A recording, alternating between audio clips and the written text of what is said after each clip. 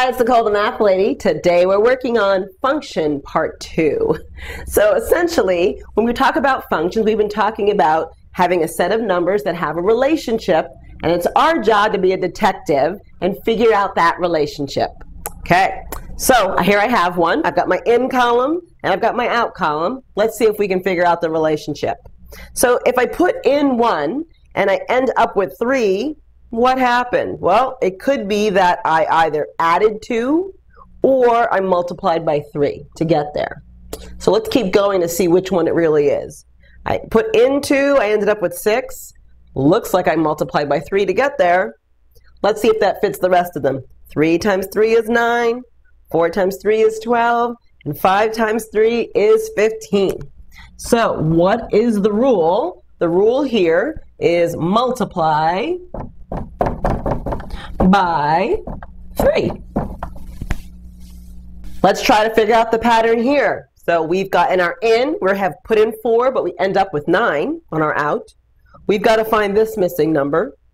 Here's 8 and 13, 10 and 15, 12 and 17. So it looks like the pattern is, is if we add 5 to 4, right? So to the to the in column, if we add 5 to it, we'll end up with our out. So 4 plus 5 is 9. 8 plus 5 is 13. 10 plus 5 is 10 plus 5 is 15. So it works. So the rule here is to add 5. You've probably noticed that we're moving more and more towards algebra. So it actually takes over here not quite nicely. Instead of using the word in, we could change that to a variable. We could call that in x. And the out we could call y. And instead of using in and out, we can actually write an equation to tell us about this rule. So we knew that if we added 5 to our in column, it would give us our out column. what if we instead use variables and said if we add 5 to our x, meaning x plus 5 equals our y column.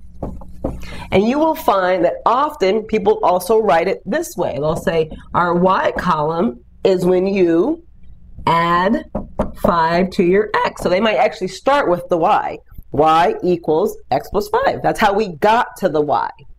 So let's try one more example where we convert our in and outs to x's and y's. Here's our function. We have our in column and our out column. But instead of using in and out, we're going to use variables. We're going to use an x and a y instead. So tell me, how do we come up with our missing number? So our, even just our whole y column, we're going to start with y equals, let's figure it out.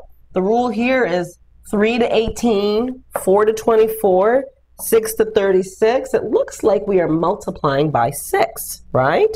So we could say that y equals taking our x column and multiplying it by 6. So y equals 6x would be the equation for this function.